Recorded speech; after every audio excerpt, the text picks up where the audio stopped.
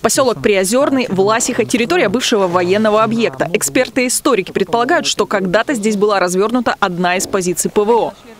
Что мы сейчас видим, это а, бывшая военная база. А, мы ее взяли с аукциона для, а, для создания общественного пространства. То есть в мечтах сделать крытый каток внутри здания, это 800 квадратных метров. По бокам сделать места отдыха, может быть, э, какие-то шатры для свадьб, либо что-то подобное.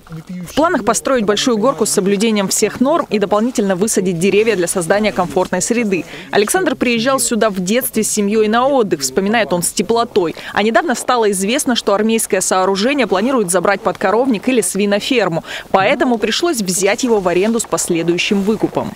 Я думаю, что нужно, конечно, но чтобы не нарушать, э, как говорится, природу, чтобы делать такое, чтобы в гармонии было. Пускай развивается поселок.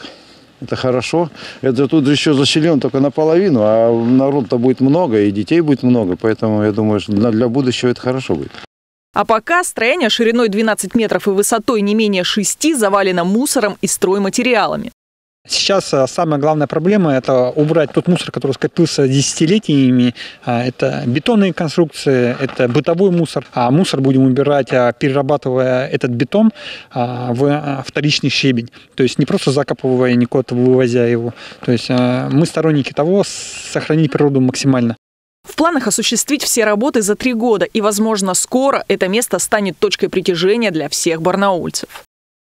Юлия Щепина, Алексей Фризин. День с толком.